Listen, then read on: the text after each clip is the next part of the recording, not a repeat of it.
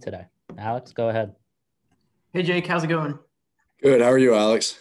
Pretty good. Um, you know, you, have been able to hear a, a lot lately about pundits. Like I know I've seen Mel Kiper talking about you rising up draft boards. What does it mean for you, you know, to hear yourself in this national conversation about the NFL draft and, and how much more excited does that make you for the next level?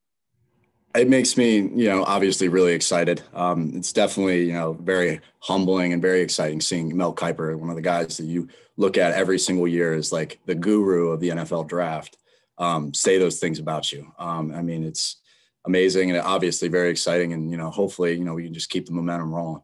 So. And I know you've been um, doing a lot of, you know, individual workouts and things like that, you know, getting ready for the draft. Can you kind of tell us about what that process has been like and, and, and you know, what kind of extra stuff you've been doing since the season ended? Mm-hmm. So since the season ended, I uh, went down to Aventura, Florida, which is like North Miami, um, and trained with uh, Bommarito's Performance Systems. Um, I was there for two months from, you know, January 2nd till February 28th. Um, and there it was, you know, training six days a week. Um, get into the facility at 6:30 a.m. Wouldn't leave till between one and three every day. Um, just you know, consistently just working out the whole entire time. Um, come in, do agility work. You do, you know, uh, football specific drills, 40 work, lifts, um, and really it was just being a full time athlete from the time I woke up till the time I went to bed. Um, so that's what I've been doing over the last two months. Thank you. We'll go to Daniel Oyefusi next. Hey Jake, hope you're doing well. Uh, just you know, media wasn't able to attend pro day, so how would you describe uh, the experience of getting to test and uh, kind of meet with uh, some of these um, NFL teams and scouts? It was amazing. I mean, we had a great showing from the NFL scouts, and I, you know, obviously thanked all of them for coming and for their support. Um, and I mean, it was you know something that I've been waiting for for a long time. Um, you know, you you go through you know every single year and you see all your friends doing this. Um, you know, specifically like you know other running backs like Ty and um, seeing Ant Mac and Javon at the combine and stuff like that. Um, so it's just something that you know I've been waiting for, um, waiting for the opportunity. You know, and obviously um, the results you know were something that I you know was very happy with um, something that I was not surprised about and something that everybody in this building knew, but I just needed the opportunity to show. And a quick follow up I know um, NFL teams have already started to have kind of like their virtual combine interviews. Um, ha- have you spoken to any teams? And if so, can you share which ones you have spoken to? Um, I've spoken to a couple teams. Um, you know, I, more today told me that they were going to, you know, reach out um, with phone calls and stuff. I mean, I talked to, I want to say 13 teams at my, you know, see a college gridiron showcase that I went to in January. Um, I have a call a little bit later today with the Rams. Um, and then, you know, from there, I, you know, I've had a couple teams from uh, earlier today said they're going to reach out, call just to get to know me at first. And, you know, a couple others um, saying that, you know, they're, they're going to have Zoom sessions here soon in the next month. Reminder that if you have a question for Jake, to send me a chat. We'll go to Joe Yasharoff next. Hey, Jake. Uh, thanks for doing this. Uh, thanks for talking to us. Yeah, um, appreciate you having me. Absolutely. Uh, take us there. Take us to the field. To um, are you nervous? Are you excited? Are you in a zone? What What is it actually like? You've been waiting for this. You said. So, what was it like to actually go through it? I mean, wasn't nervous. Um, really I've known this is going to happen for years. Um, you know, a lot of people have said a lot of things about me that I knew weren't true, that everybody in this building knew weren't true. Um, and really just out there doing what I do every day, um, you know, and proving myself right. And just a quick follow up besides the measurables, what do you want NFL teams to know about Jake Funk? That they're going to get a hardworking kid, that they're going to get somebody who's going to give it everything he has at all times, and somebody who's who understands how to compete and what it's like to take advantage of every single opportunity they get. Because I've had to do that my whole career here. Thank you. Is there anything else for Jake? Can I get another one in? Yeah, go ahead. Yeah, Jake. I mean, I know I know you mentioned, you know, this is something that you've always envisioned and you know you, you anticipated it happening. Um, but we all know you've been through so much um, in your Maryland career with the injuries and whatnot. I mean, even through those grueling rehab process processes, was it still something that was on your mind? I know you just wanted to get back to the to the field at Maryland, but um, this opportunity right here is that still something that you always kept in your mind? Yeah, always. Um, just because, you know, every single day I competed competed with an NFL running back room since the day I got here.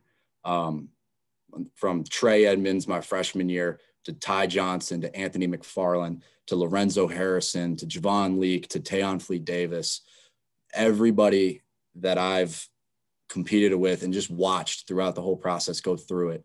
So, I mean, yeah, I would definitely say that.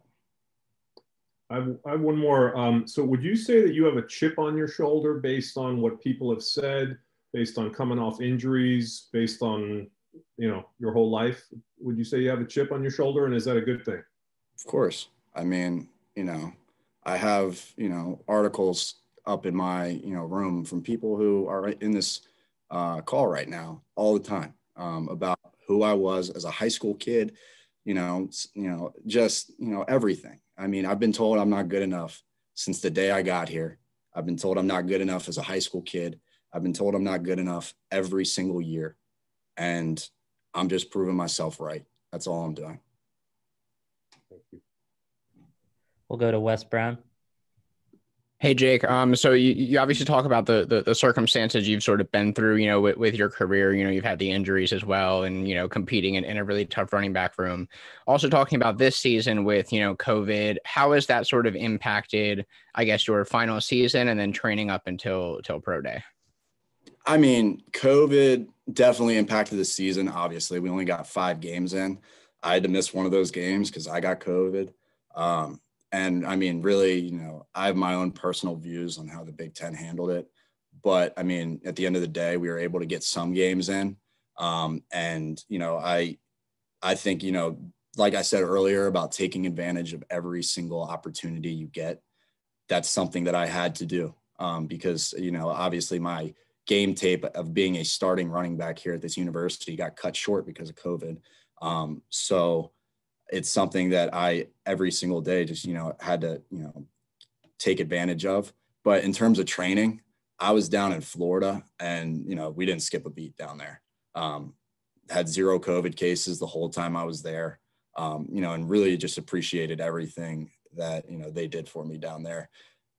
So and then sort of looking forward, um, you, you talk a little bit about, you know, setting up Zoom, setting up calls. What's the next, you know, phase for you moving forward? What's sort of the plan, you know, in terms of getting ready, I guess, for, for draft day? Um, so the next phase is you got Zoom calls, you got medical evaluations, you got private workouts with teams if they want to, you know, send a coach down and come see you and work you out. Um, you got like I just just interviews, workouts, medical exams, all leading up to the uh, to the draft. I, I, you know I can guarantee I'm gonna go through the rudder when it comes to medical exams. But um, yeah, the, those three big things. We'll go to Ahmed Gafir. Hey Jake, uh, you mentioned you know you're uh, taking advantage of kind of every opportunity and and how you kind of went through this season um, taking advantage of every moment and just kind of with this whole process just being very unique. And you mentioned we're you know watching guys like ty and ant and kind of all of them go through this process. Have they kind of shed any light on maybe you know maybe how to best capitalize how to best maximize your available time kind of preparing mm-hmm. up to this? And maybe have they kind of shed any light on how to prepare yourself when you're uh, speaking with these nfl teams? Yeah i mean i've ty is my best friend. Um, so i've pretty much lived through this through Ty for two years now, understanding, you know, the day to day life of an NFL running back, um, the process leading up to the draft, um, everything about it, I've known for years. I've known since 2018 when he went through it. So it, for me, it's just, it was just waiting for the, the right time to showcase. And I, I, you know, and I thank God and I thank a lot of individuals in my life that have helped me along the way. And, you know, the timing is just right go back to Daniel. Hey Jake, um, excuse me, if you don't mind sharing, because we, we weren't there. I mean, what did you run in the forty time, and is it what you um, or what were you told you ran in the forty time, and is it what you expected? So the fastest time I ran on a clock that I've heard is a 443. Um, and then, you know, I've heard anything from a 443 to a 448. Had a 38 inch vertical, had a 10 2 broad, benched 22 reps. Um, don't know what I ran on the shuttles, but those, I'll find those out later on today. Um, but literally couldn't have shown any better. We'll go back to Alex. Hey Jake, you touched on this a little bit. Um, you were talking about it, um, but you know, when you were growing up as a kid, I think you did grow up in Damascus, right? I know you Yeah. went to high school there. Yeah. Um, but um, you know, when you're growing up as a kid uh, in Damascus, um, what what was kind of going through your mind then? Did you have that dream of going to the NFL uh, at that age? You know, just kind of take me in the mindset of when you were growing up, just kind of, you know, the dreams that you had and what you thought about back then. Oh, of course. I mean, ever since I was a kid, um, it's something that I've always wanted to do. Um, you know, I remember running around the house with a Redskins helmet at the time. Um, and, you know, always like looking up to my dad. My dad played at Penn State back in the late 70s, early 80s. So growing up, I always wanted to be like him. I wanted to play at the highest level, wanted to play football, college football. Um, you know, grew up telling them I was going to play in the NFL. Um, you know, obviously as a kid, you, you know, those are just dreams at the time and really you know as i've gone through the process you know everything is just kind of been you know doing its thing and where you know i checked the box when i was eight, 17 18 years old playing at the highest level um, of college playing in the big 10 and now really you know just moving on to the next box and that's you know playing in the nfl which is ultimately my my you know my dream as a eight year old kid so So that was the other question I had. Did you grow up a, a, a Washington fan then and not a Ravens fan? Yeah, uh, gr- I mean, grew up. I mean, I didn't really grow up a NFL fan per se, um, but we obviously had Redskins stuff in my house just because of the hometown team. Um, you know, my little brother, you know, became more of a Ravens fan as we, you know, grew older. Um, but me personally, I've never been a diehard anything fan in terms of NFL. I was more of like a college football fan. Um, and yeah, I mean, I just you know root for the the football team now um, and the Ravens, but just because of the hometown team. One last follow up from me. You, you know, you went to Damascus, you played here at Maryland. Your whole life, you've been here in Maryland. Um, you know, if you did get that call from the Ravens or, or Washington or even, you know, a closer team like the Eagles or something, w- would that be, you know, something that you would be happy about? Obviously, you're going to be happy about any team, but would that be, you know, good to stay home? Uh, I mean, yeah, it would be awesome. I mean, any if you know one of those teams call me, I'd be really excited. Obviously, got get to stay home, and you got a support network here that is able to come, you know, watch you play and this and that. But really, at the end of the day, um, any team that you know calls me is a truly a blessing because I, you know, it's come I've come a long way to get to where I am, um, and you know, I'm very humbled and just you know thankful for the opportunity. Thanks again, Jake.